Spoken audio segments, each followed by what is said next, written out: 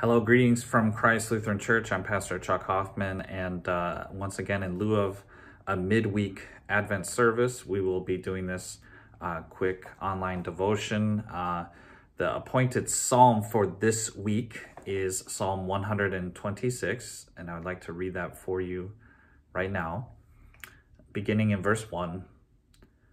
When the Lord restored the fortunes of Zion, we were like those who dream.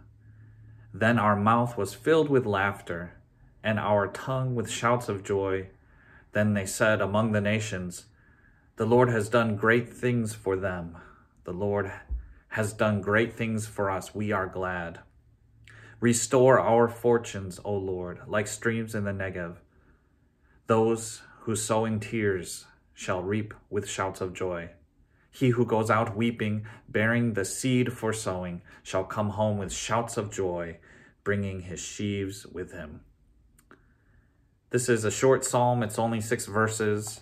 Um, it's labeled as one of the songs of ascent, uh, meaning that these psalms were spoken and sung by the pilgrims as they made their way up to the city of Jerusalem uh, each year, especially around the time of the Passover but for all three of the feasts where people went back to the city.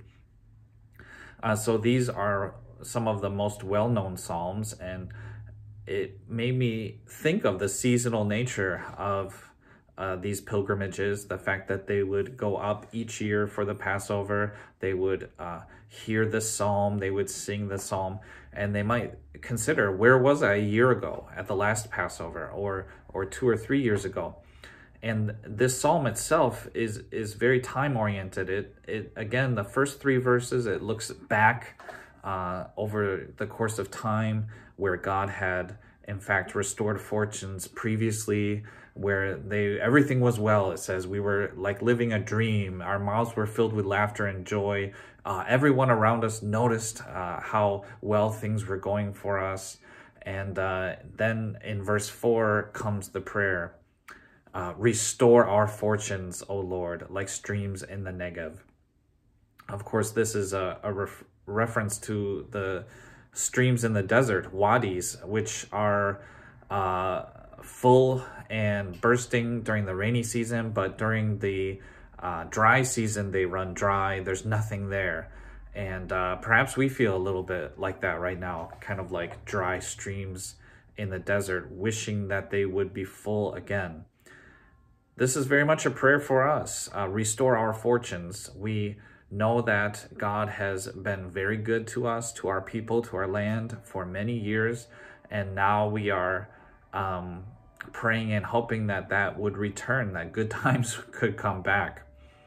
Uh, the final two verses of this um, uh, psalm speak of confidence that although there's a bitterness right now, that we know that good um, good things will return, that blessings will return. So for instance, with uh, uh, verse 5, you may sow in tears, but you will reap with shouts of joy. Or in verse 6, uh, they go out with seeds in hand, with weeping, with sorrow, with bitterness, and yet they come home with sheaves of wheat, with the harvest, and with shouts of joy. All of this is expressing confidence that God will act, will provide, uh, will honor uh, his people with, with um, joy and happiness once again. Uh, clearly, we are going through a difficult season, not just as um, a local people, but as a country and as a whole world. Uh, these are difficult times. And yet, uh, these sorts of psalms, this song of ascents that people spoke year after year, uh, ascending the the mountain trails up to the city of Jerusalem. This can be our prayer as we consider what were we doing last year for Christmas? What were we doing two or three years ago?